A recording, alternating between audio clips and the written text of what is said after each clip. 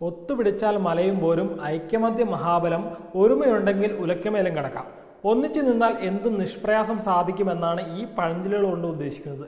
ഒരു ബൈക്കിൽ എത്ര പേർക്ക് സഞ്ചരിക്കാം? നാലും അഞ്ചും ആളുകൾ സഞ്ചരിക്കുന്നത് നമ്മൾ കണ്ടിട്ടുണ്ടാകും. എന്നാൽ എല്ലാ റെക്കോർഡുകളും ഒരുമിച്ച് മറികടന്നിരിക്കുകയാണ് വീട് മുഴുവൻ ബൈക്കിൽ കയറ്റി സഞ്ചരിച്ച ഒരു കുടുംബം. ഒരുമയുണ്ടെങ്കിൽ ഒരു ബൈക്കിൽ എത്ര പേർക്ക് വേണമെങ്കിലും സഞ്ചരിക്കാം? മൂന്നും നാലും ഒന്നുമല്ല ഏഴ് പേരാണ് ഒരു ബൈക്കിൽ യാത്ര ചെയ്തത്. ആളുകൾ മാത്രമല്ല ഒരു കോഴിയും രണ്ട് നായകളും പിന്നെ ഒരു ലോഡ് സാധനങ്ങളും ഇതേ ബൈക്കിൽ തന്നെ ഉണ്ടായി. ട്വിറ്ററിലൂടെ വൈറലായ ഈ വീഡിയോ കണ്ട് ആളുകളുടെ കണ്ണ് തള്ളിയിരിക്കുകയാണത്രേ. ഇത് കേരളത്തിലാണെന്ന് കരുതി അമ്പരക്കണ്ട. ഇത് മറ്റേതോ സംസ്ഥാനത്തെയാണ്. രണ്ട് മുതിർന്നവരും അഞ്ച് കുട്ടികളുമാണ് അടക്കി വെച്ച നിലയിൽ ബൈക്കിൽ യാത്ര ചെയ്യുന്നത്. കോഴിയെയും നായയും എല്ലാം ഓരോരുത്തരായി കയ്യിൽ പിടിച്ചിട്ടുണ്ട്. ഒരു നായക്കുട്ടി സൈഡിലുള്ള ചാക്കേട്ടിന് മുകളിൽ നിൽക്കുന്നത് വീഡിയോയിൽ കാണാം. ഒരു ലോഡ് വീട്ടു സാധനങ്ങളും നീളമേറിയ മുളയും ബൈക്കിൽ കെട്ടിവെച്ചിട്ടുണ്ട് തന്നെയുമല്ല ബൈക്ക് ഓടിക്കുന്നയാൾ ഹെൽമറ്റും ധരിച്ചിട്ടില്ല.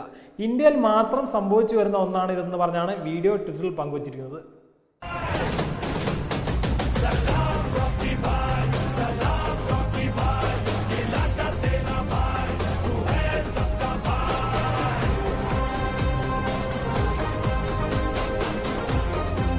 ഇന്ത്യയിൽ മാത്രം കാണാനാകുന്നത് എന്ന തലക്കെട്ടോടെ ഒരാൾ ട്വിറ്ററിൽ പങ്കുവച്ച വീഡിയോയാണ് ഇപ്പോൾ തരംഗമായി മാറിക്കൊണ്ടിരിക്കുന്നത്.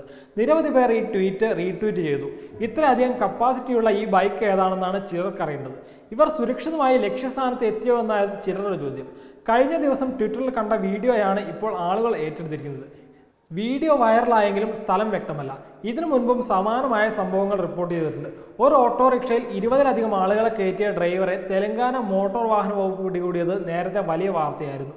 ഇനി ഈ കാഴ്ചകളൊക്കെ ട്വിറ്ററിൽ കണ്ട് അത് കേരളത്തിലും പരീക്ഷിക്കാമെന്ന് ധരിച്ചാൽ മുട്ടൻ പണി കിട്ടും.